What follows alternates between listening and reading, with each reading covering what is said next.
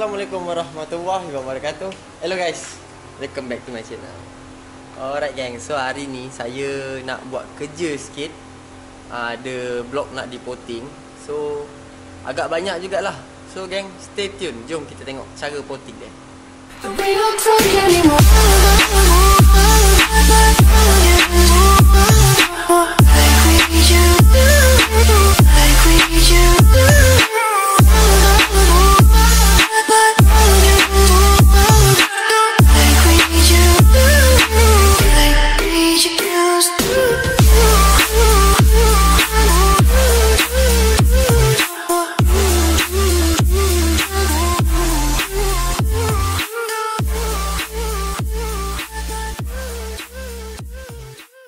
Alright gang, alright gang. So dekat sini kita ada blok Emmet. Ah ni blok-blok yang kita nak voting kejap lagi lah. Tak tahulah sempat tak sempat kan. So ni ada blok Emmet.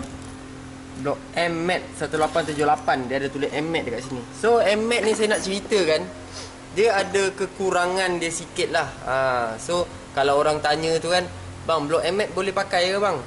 So bagi pendapat saya blok Emmet, blok Espada, blok Shark, HLD semua tu boleh pakai. M apa Moto One semua boleh pakai. So tapi kita nak cerita kat sini pasal Mmat dulu. Okey geng. So dekat sini kalau kita tengok blok Mmat dia punya tepi ni licin tau. Ah dia punya keliling ni. Ah dia sama juga macam PDK ni 1855. Dia punya keliling ni pun licin. Ah sama juga macam blok original. Ah ni blok ori 1878. Keliling dia ni ori, dia memang akan kilat tau. So tak ada isu lah dekat situ cakap benda tu ketat ke apa. Tapi ada satu masalah dekat MMAT ni yang sering berlaku lah. Ha, kita tak tahulah dia punya production ke apa kan. Tapi memang orang cakap banyak berlaku lah. Ha, so kalau korang nak tahu apa benda tu yang buatkan PV korang tu lekat yang bahagian dalam ni geng. Ah ha, tu dia. Kalau korang perasan yang lubang kecil tengah-tengah tu dengan lubang yang ni Ah, lubang tu finishing dia cantik tau. Dia bila kita masuk batang PV tu kat dalam, ah yang ni nak tunjuk. Ah ni lubang ni. Lubang ni nanti saya letak kat tepi lah tengok macam mana. Nampak tak nampak yang ni? Ah berbanding dengan yang ni, dia tajam. Tepi dia ni tajam. Ah yang ni dia ada longkang dia sikit, dia ada kawah dia supaya benda tu senang masuk. Ah masalah emet ni apa tau? Lubang tu yang saya ceritakan pasal lubang tu dia kecil geng. Ah dia kecil. So dekat situ kalau siapa-siapa dalam ni yang menonton ni hari ni semalam esok lusa yang menonton video ni pagi siang malam apa so lubang tu sepatutnya korang kena besarkan sikit. So macam mana kita nak besarkan lubang tu? Ah senang je geng. Korang pakai mata drill. Cari mata drill lepas tu korang ukur dekat uh, PV block tu ada batang bawah tu kan. Tengok besar dia So korang besarkan sikit. Ah Dekat situ korang masuk dalam blok emet ni. Masuk dalam blok emet tu Korang tebuk tu bagi besar. Ah Korang bagi dia besar sikit je Daripada yang saiz asal dia. Kalau nak ikut original dia longgar sikit. Masuk PV tu Kalau kita masuk PV tu kiri kanan So benda ni dia boleh pusing. Tapi yang emet ni ah Kebanyakan lah saya jumpa Masuk-masuk dia tak boleh pusing. Boleh pusing tapi dia susah Dia ketat. Kena paksa-paksa sikit So function PV ni sebenarnya dia benda tu kena longgar. Ha, dia longgar kiri kanan lah maksud saya. Bila PV tu yang batang tu tekan, so dia senang nak lantun apa semua kan. Tapi kalau barang tu ketat, dia dah on kadang-kadang tak tutup. Kadang-kadang nak on pun susah. Ah ha, tu masalah yang pertama pada MAT ni. So apa masalah kedua dia? Okey geng. So dekat sini saya nak ceritakan lagi dekat korang. Ah ha, ni dia. Kita susun dulu kat sini. Blok MAT ni dengan blok-blok yang biasa ni Kita nak ceritakan Kalau korang perasan eh Nampak dalam video ni eh Lubang PV yang dalam ni eh ha, Dia petak dia tu cantik tau. Petak dia cantik. Ha, So korang tengok yang blok 1878 ni Dia pun lebih kurang juga Macam PDK ni. Ha, Dia cantik juga Yang ni. Nampak eh dalam video? Nampak kan Nampak kan ha, So ni besar. Yang ni dia besar Tapi dia ada bentuk sikit tepi ni tapi kalau yang emmet ni Kalau korang tengok ha, sini lah Emmet ni kecil kan Dia punya lubang ni kecil So Kalau nak cun Kat situ lah kan ha, Cara saya lah Cara korang Saya tak tahu Tapi ni saya bagi pandangan Dan pendapat sikit lah So korang masukkan dia punya power valve tu. Korang masukkan power valve tu. So kat situ nanti korang akan nampak dia punya longkang tau. Ah dia punya longkang tu kalau boleh korang potting sikit kat sini. Bagi dia besar sikit sama macam ni. Besarkan sikit. So kalau cakap pun tak guna, ah jom kita buat demo dulu geng. Stay tune. Sebelum saya nak letak power valve tu dekat blok MX ni saya tunjuk demo macam mana longgar yang saya cakap power valve tu. Okey, ni power valve ni dekat blok MX. Eh dekat blok HLD. HLD 1878 juga. So, macam mana yang longgar saya ceritakan tadi tu? Ah, dia tak ada lah longgar sampai dia tercabut. Dia cuma longgar macam ni je, geng. Ah, nampak? Dia senang. Nampak? Tolak macam ni je. So, kalau dah macam ni, ah, jaranglah power valve tu sangkut dekat sini. Ah, jom kita buka letak dekat MX tengok macam mana. Alright gang,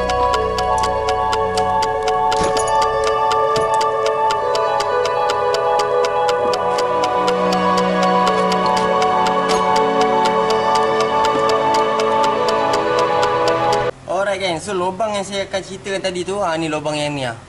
Ah lubang ni tak sama dengan lubang emet. Dia sama tapi dia fit. So lubang emet tu kita akan besarkan sikit.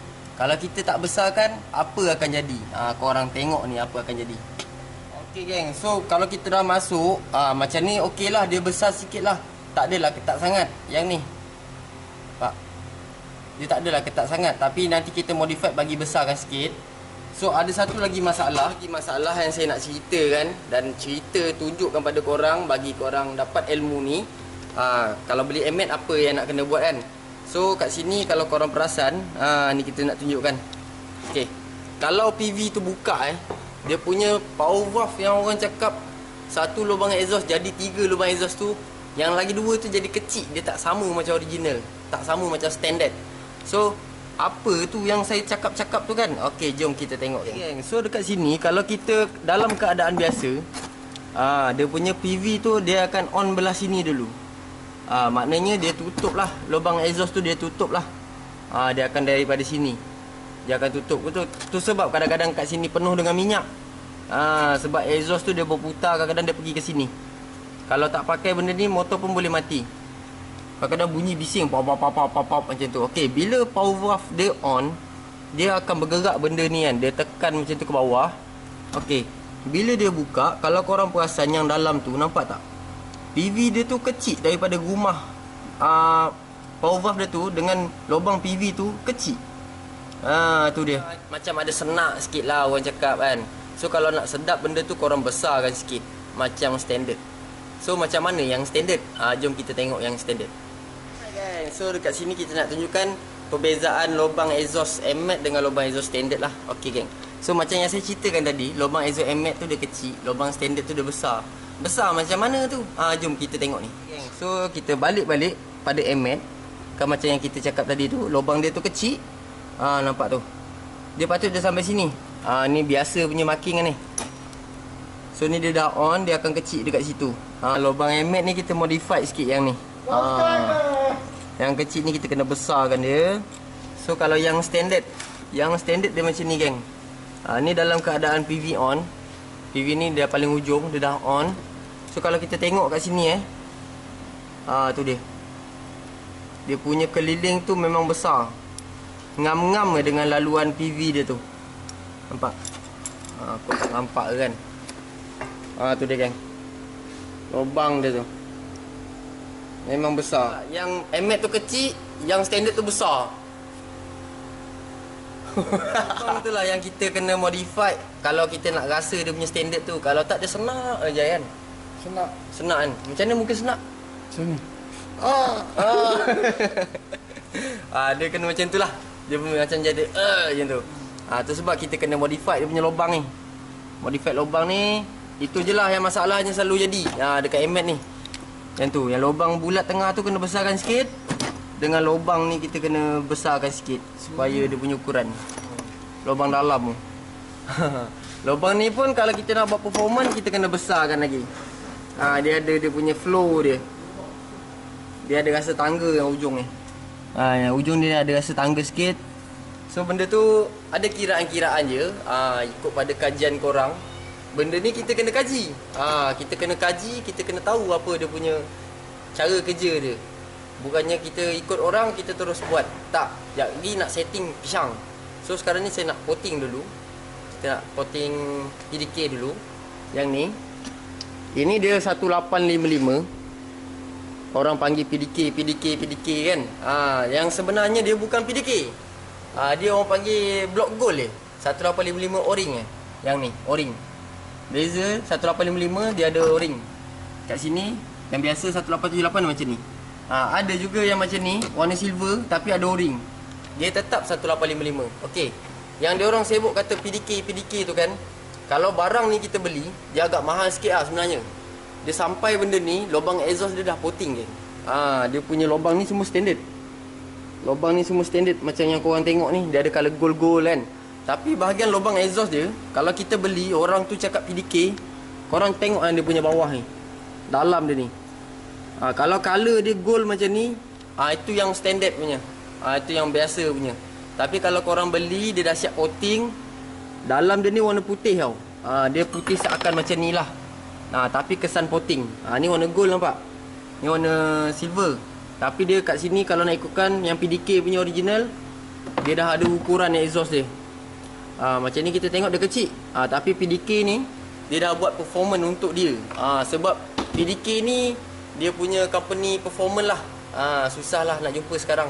Sebab dengar-dengar company tu dah tak ada. Ha, tapi barang-barang dia masih ada. So gang, jom kita potting blok PDK dulu. Mantul. Alright gang, so kita nak kira dulu lubang exhaust menggunakan caliper ni. Ha, kalau korang tengok, selalunya orang kira lubang exhaust ni, dia akan kira daripada yang atas ni sampai yang atas ni. Okey. So kita tengok berapa yang standard eh. Ni saya dah ukur awal. Okey, kalau kita tengok yang bucu ni sampai ke bucu exhaust sampai ke head atas ni, kiraan dia dalam 34. Ah, ha, 34. 34 bagi yang standard eh. Bagi yang standard. So kita tengok pula yang biasa punya. Ah, ha, yang biasa ni dia tinggi sikit. So jap kita ukur yang sebetul-betulnya lah. Ah, ha, lubang PDK ni dia kecil sikit. Sebab orang kalau beli orang modified. Yang ni dia dalam 33 lah. Ha, 33 lah. Ini kita tak kira betul-betul eh. Kita asal boleh je ni. Ha, kalau nak ikutkan dia kena kira syak-syak betul. Tapi kita tengok dulu. Yang standard dalam 33. PDK tadi dalam 34. So dia lagi kecil pada yang ni. Ha, itu sebab orang beli PDK. Orang beli gold. Dia akan modify jadikan macam PDK. PDK dia punya lubang exhaust 30 eh. 30. Sekejap kita tengok dulu. Contoh kat sini 30 lah. Ha, ni kita ambil 30 lah. Ada something-something lah. Ha, so kalau kita tengok kat sini agak banyak kita nak kena potong ni. Ha, tu dia PDK. Original PDK dia sampai situ saja. Ni banyak ni. Ni kecil sangat ni. So kalau yang kita tengok juga yang MMAT punya berapa? Ha, kita alang-alang kat sini kan. Kita tengok MMAT punya berapa. Kita ambil lebih kurang je lah. Okey, MMAT kalau kita tengok MMAT dekat sini dia 31 kan. Ah, 31. MMAT. Maknanya MMAT ni lagi besar pada yang standard ni. Ah, MMAT ni lagi besar. Kalau siapa ada blok MMAT dengan blok ori ni cuba kau orang pegang yang atas ni. Ah ni. Kita nak tunjukkan dia punya apa benda yang kita nak coating kejap lagi.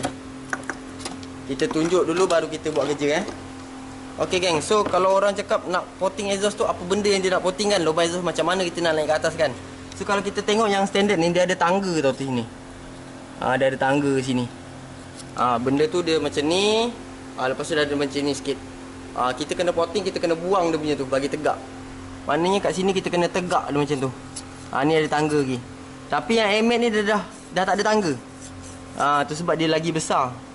Yang ni. Dah tak ada tangga dah yang ni ada tangga. Ha, ni yang PDK pula.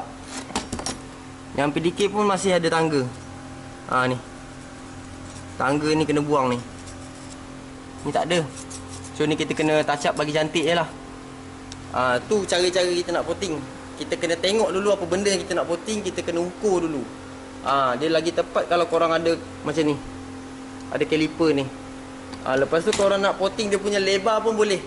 Dia ada ukuran dia. Yang tadi kita ukur dia punya ni Kita nak lebarkan berapa Tapi kalau korang nak ukur dia punya keliling ni Yang kiri kanan ni Korang kena ada benda ni Ah benda ni lah nanti yang akan masuk dekat dia punya lubang ni. Ah masuk sini. Lepas tu boleh buka-buka-buka tengok dia punya tu berapa. Ah dia punya ni kiraan tepi ni. Ah korang boleh ukur berapa yang korang nak. Lepas tu korang boleh letak dekat kaliper ni. Ah standard berapa. So, so bila korang dah tahu standard berapa, berapa yang korang nak buka kan. Ah satu kanan satu kiri ke, 0505 ke 0808 ke ah, itu pandu pada korang. Ah, so korang kena ada ni untuk korang dapat dia punya gap tu untuk center dia. Kiri kanan nak buka berapa. Okey, sekarang ni kita potting block geng. Stay tune lagi. Alright geng, so penggunaan mata ni korang kena tahulah ha, mata apa yang korang nak pakai ha, korang kena standby kan mata-mata yang ada ha, ada mata panjang, mata bulat mata licin kan So benda ni lah yang korang kena tahu. So macam saya, saya suka pakai mata yang ni dulu. Yang panjang ni untuk saya tarik-tarik biasa je. Benda ni jangan paksa eh. Benda ni kena layang eh. Layan je benda tu. So kita tengok dulu dia center tak center. Ha, macam ni. Ha, dia center. Kadang-kadang orang pakai kasar-kasar dia lantun-lantun kadang benda ni bengkok kadang. Kadang-kadang lah. So geng, sekarang ni saya nak potting dulu lubang exhaust Ikut cara PDK Yang ni saya tak potting eh Saya potting lubang exhaust je Atas request lah So saya kira dulu ah, Macam saya, saya suka tanda dulu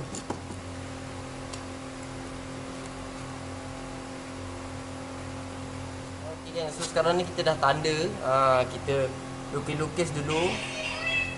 Lukis-lukis dulu macam mana yang korang nak tu korang dah ukur. So sekarang ni kita teruskan dia punya kerja potting ni lah. Ha, kita ikut tanda-tanda yang kita buat tu. Ok gang jom kita potting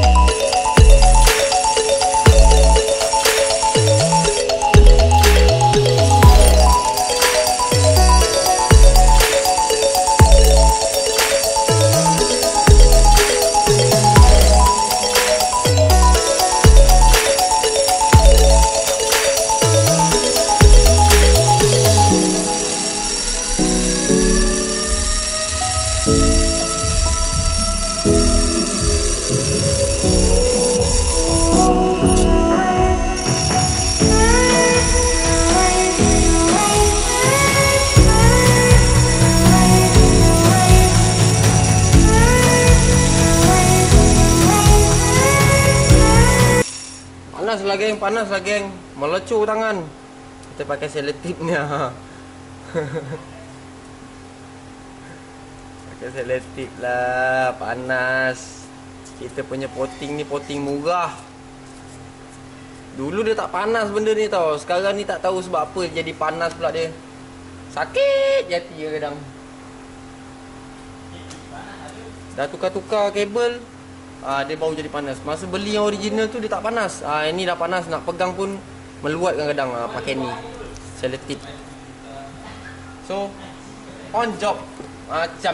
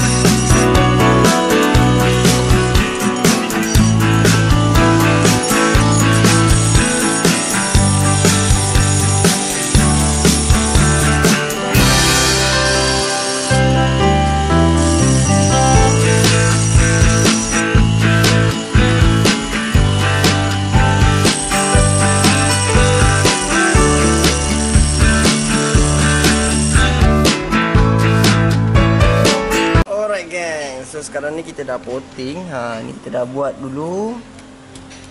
Yang ni pun kita dah besarkan ikut yang kita marking tadi tu. Lepas tu kita double check lah.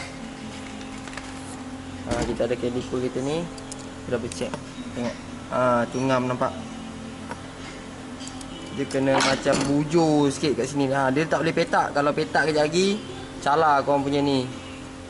So sekarang ni baru kita pakai yang untuk kikis dia dulu. Ha, lepas ni kita pakai yang untuk outer dia pula. Untuk yang single pula.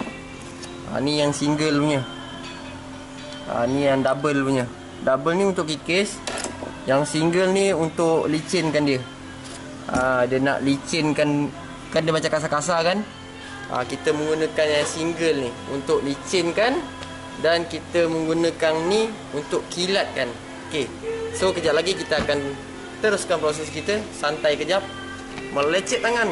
Tak tahulah. Rasa benda ni lah. Bila kita beli yang repackage dia tu kan dia jadi macam panas tau. Dulu dia tak panas. Saya punya ni model biasa je. Ha ni. Lepas dia dah banyak kali putus kita ada beli macam ni banyak-banyak yang murah punya. Ha dia rasa panas sikit. Mungkin mungkin dia murah kan. Kalau dia mahal mesti tak panas kan? Betul. Betul tak? Betul. Kita kena dulu. Ui, kenyang baik minum sup. Semua kenyang. Okey kan, so sekarang ni kita dah dia dah sejuk-sejuk kan. Ha, dia dah sejuk-sejuk kat situ. Ha, kita tukar mata pada single single blade dia apa nama dah. Single layer ke. So, kita masuk yang single. Kontot dia, dia ada yang panjang tapi saya suka yang kontot. Ha, kadang-kadang menyampah agak yang kontot ni sebab tak muat nak masuk dalam dalam. So kita check dulu tengok dia center ke tak center. Okey mantap. So geng jom kita bagi dia rata-rata sikit.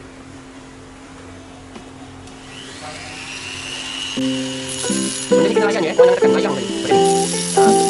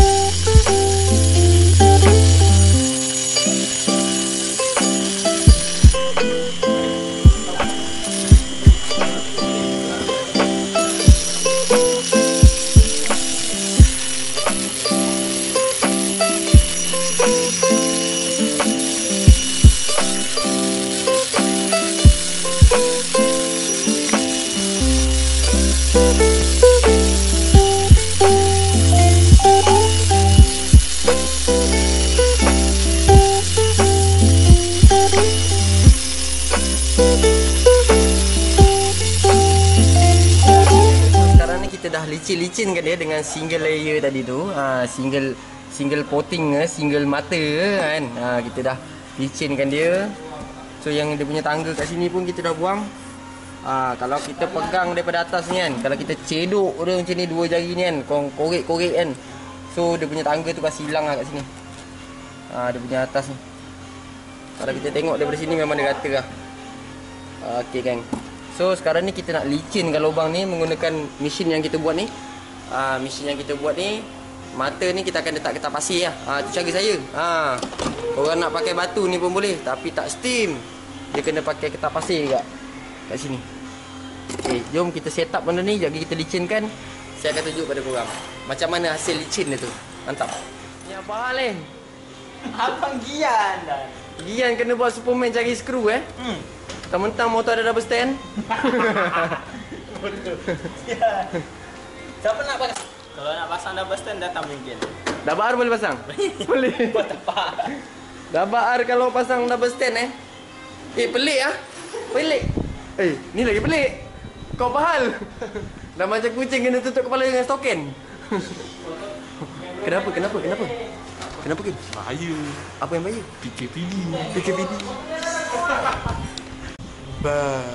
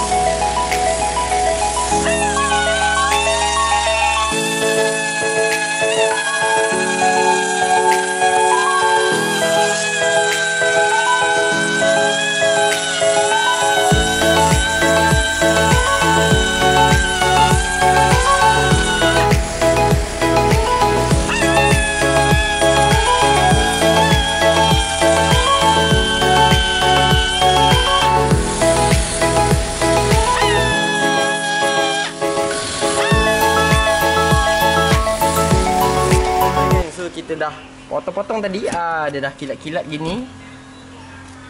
Kalau nak kilat macam cerimin pun boleh tapi yang ni pun dah cukup dah. Ah lepas tu yang bila kita potting satu lagi penjagaan bila potting eh yang tempat ujung-ujung ni ha yang tajam ni. Kalau korang ada kikir ada kikir ke kan? Ah ni korang kikir. Tepi ni jangan bagi dia tajam. Bila dia tajam ah geseran tu terlalu kuat nanti dia akan rosakkan hakiskan dia punya ring tu lah. Ah seeloknya yang ni jangan tajam-tajam. Yang tempat kita ujung ni kita potong ujung-ujung ni ah bagi lembutkan dia, bagi dia tak tajam. So tangan pun tak luka, okey lah. Ah tadi kita gunakan kertas pasir, ada dua layer kertas pasir. Mula kita bagi rata dulu lepas tu kita licinkan. Ah ni ada dua. Kalau ada atosol letak atosol. Ah baru berkilat macam cermin. Lubang exhaust tak apa eh. Ikut pada lah, ikut pada korang lah nak kilat ataupun tak lah. Ah tapi kalau potting bahagian sini jangan buat kilat-kilat. Seeloknya bagi dia kasar-kasar sikit. Kalau kilat kejap lagi macam-macam jadi. Ah dia punya setting tu minyak dia tu tak ada pegang-pegang dia ngalir terus je. So, sebab orang kalau potting kat sini dia tak buat licin-licin. Ah dia bagi flow cantik je. Alright kan, sekarang ni saya nak cuci. Ah ini kita dah siap. Kita dah siap potting PDK kata orang kan. Ha, blok PDK, PDK. Beli blok gold biasa tapi potting.